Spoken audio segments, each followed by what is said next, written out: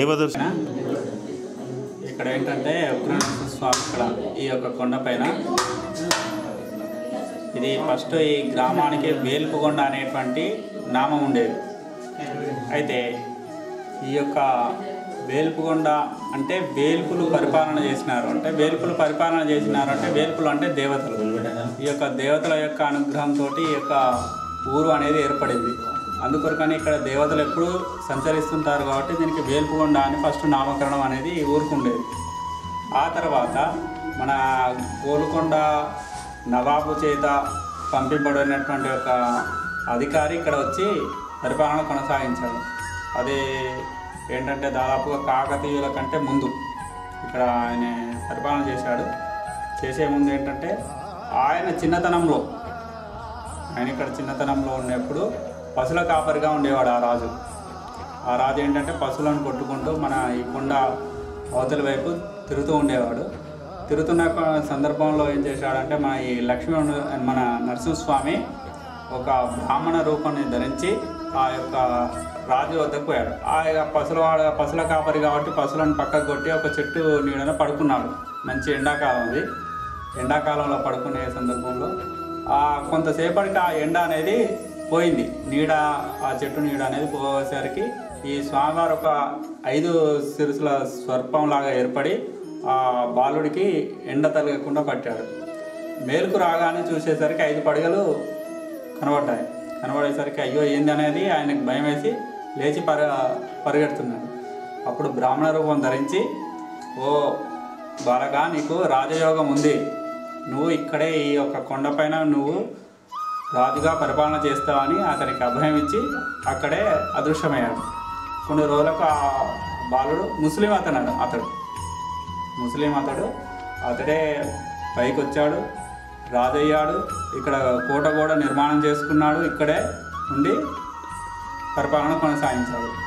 అదేవిధంగా ఆ యొక్క ముస్లిం రాజు అయినప్పటికీ కూడా రోజు మన ఆలయానికి వచ్చి తీర్థ ప్రసాదాలు తీసుకొని పచ్చి మంచినీళ్ళు కూడా ముట్టుకోకపోయాడు హిరణ్యకశ్మని వధించినప్పుడు ఆ యొక్క నరసింహస్వామి ఎంత కోపోద్రోక్తుడిగా ఉన్నాడో అదే కోపంతో వచ్చి ఎక్కడ ఎక్కడ తిరిగినా కూడా ప్రశాంతత అనేది లేకుండా ఆయనకు ఈ యొక్క కొండపైకి వచ్చేసరికి ఆయనకు ప్రశాంతత కల కలిగింది. అక్కడ నడిచాడు నడిచిన తర్వాత మన యొక్క గ్రామంలో ఉండేటువంటి ఒక యజమాని ఆ యజమాని స్వప్నంలో పోయి సాక్షాత్కరించి నేను పలానా చోట ఉన్నాను మీరు వచ్చి చూడండి అని చెప్పాడు. చెప్పేసరికి వీళ్ళంతా కూడా ఆ యొక్క గ్రామంలో ఉండేటువంటి పెద్ద మనుషులు అందరూ ఏం చేశారు?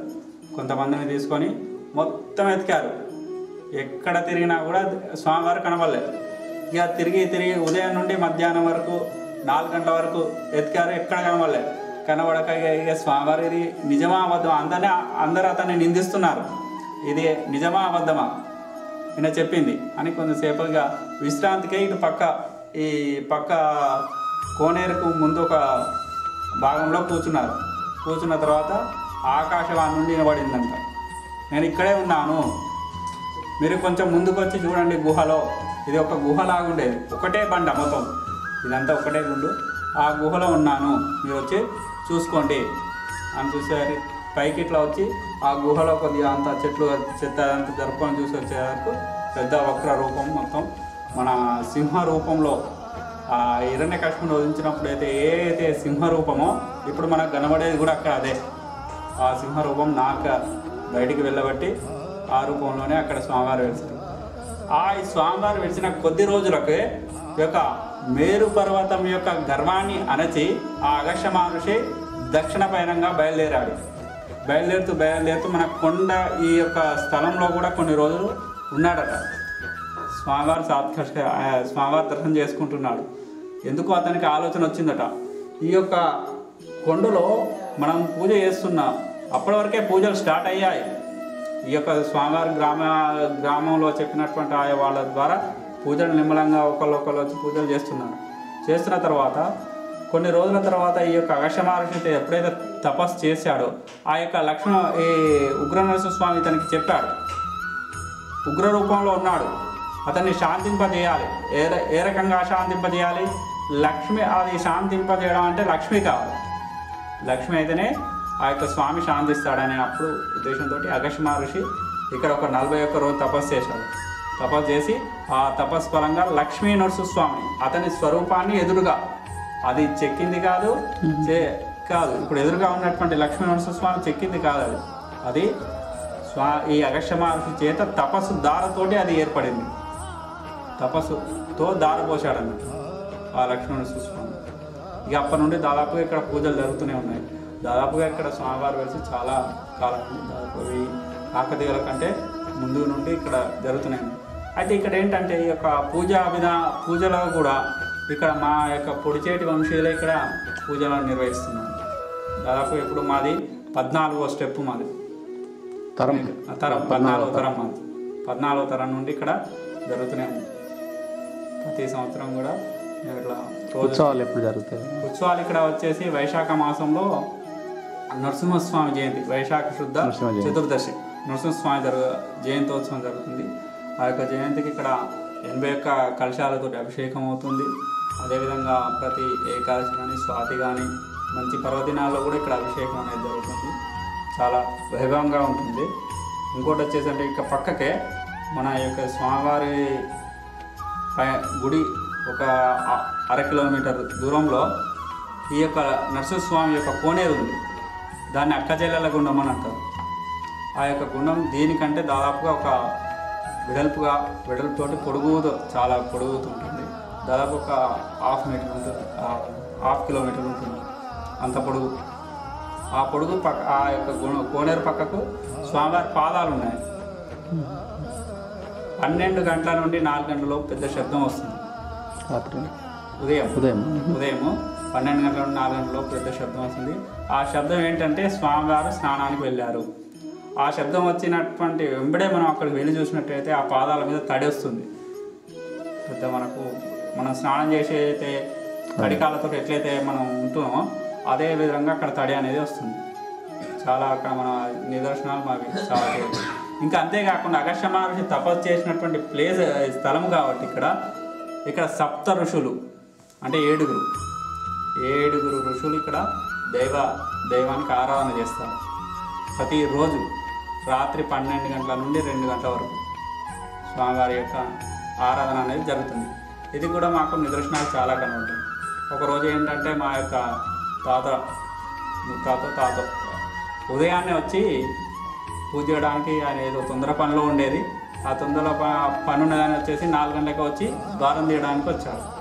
వచ్చి ద్వారం తీసి చూసేసరికి ఏడుగురు ఋషులు అలా కూర్చొని ఉన్నారు వెంబడే మళ్ళీ తలపెట్టి మా అపరాధాన్ని క్షమించండి. మేమేదో తెలియక వచ్చాము వాళ్ళు చూస్తే మనం భస్మమే ఇక. ఎందుకంటే వాళ్ళ యోగ దృష్టి మళ్ళీ మనం వాళ్ళ కింద మనం ఎంత? కాబట్టి అతని దండం పెట్టి మళ్ళీ తలుపు తీసేసరికి ఎవరు లేరండి ఇప్పటికి కూడా మనకి ఇక్కడ పక్కకు ఈ గుండం పక్కకి ఏంటంటే ఒక పేసింగం అనే అతడు అట ఇక్కడికి వాళ్ళ పుట్ వెంట్రుకలప్పుడు వచ్చారట. ఆ యొక్క నరసింహం తండ్రి నరసింహం ఇక్కడ వరప్రసాదంలో పుట్టాడట. వాళ్ళ నరసింహం తల్లి ఈ గుట్ట చుట్టూ దాదాపు గుట్ట చుట్టూ ఒక పదకొండు పన్నెండు కిలోమీటర్లు ఉంటుంది. గుట్ట చుట్టూ ప్రదక్షిణ చేసి గుట్టపైకి ఎక్కి ప్రసాదం తీసుకొని ఆ ప్రసాదం నిన్నే ఉండేదట. నలభై ఒక్క రోజు అట్లా చేసిందట. ఆ నలభై ఒక్క రోజు చేయడం వల్ల ఆ యొక్క నరసింహ అతను అనేది జన్మించాడట. అతని పుట్టు వెంట్రుకలకు ఇక్కడికి వచ్చి ఆయన కొద్దిగా భారీ శరీరం అట ఆ నరసింహం వాళ్ళ నాన్నకు ఎక్కలేకపోయాడట. ఎక్కడ వాళ్ళ డోలే కట్టుకొని వచ్చి పైకి వచ్చి ఎక్కడట ఎక్కి స్వామివారిని దర్శనం చేసుకొని కార్యక్రమాలు పూర్తి చేసుకొని కింద టెంపుల్ ఉంది కదా ఆ టెంపుల్ దగ్గర ఉండి అనుకున్నాడట.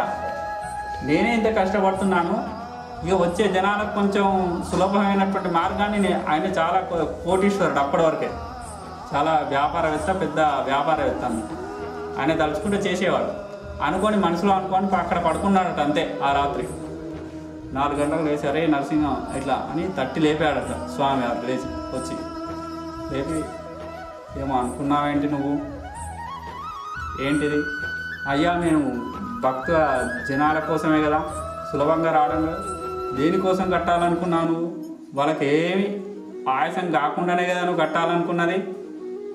ఎవరైతే నా పైన భక్తితో వస్తారో వాళ్ళకి ఎలాంటిది కూడా అపాయము ఆయాసం కలిగించా. ఇక నువ్వు కట్టేం లాభం? ఒకవేళ నేను వద్దంటున్నాను ఇప్పుడు వద్దన్నా కూడా నువ్వు కట్టినట్టయితే నీ వంశ నాశనం అవుతుందని చెప్పాడు. అంతతో అతను విరమించుకున్నాం ఇంకోటి వచ్చేసి మనకు కొన్ని మెట్లు అయ్యాయి కింద. అప్పుడు మన మా పూర్వీకులు కొంతమంది రెండు లక్షల వరకు గ్యాదర్ చేసి తర్వాత గవర్నమెంట్ నుండి ఒక రెండు లక్షలు నాలుగు లక్షలు ఆ- కాలంలో నాలుగు లక్షలు అంటే ఇప్పుడు ఎక్కువ. అది గ్యాదర్ చేసి మెట్లు కన్స్ట్రక్షన్ చేయడానికి స్టార్ట్ చేశారు. కొంత ఒక నూట ఐదు మెట్లు కట్టారు. కట్టిన తర్వాత ఆ కట్టే వాళ్ళు రావడం బంద్ పెట్టారు ఎందుకు అంటే చెప్పారు. ఆ యొక్క మెట్లే ఇప్పుడు ఇక్కడ శాంక్షన్ అయినటువంటి ఆ యొక్క గవర్నమెంట్ డబ్బే ఇప్పుడు మన యాదగిరిగుట్ట పాత ఉమ్. అక్కడ కట్టారు. అప్పుడు ఇక్కడే అక్కడ కట్టారు.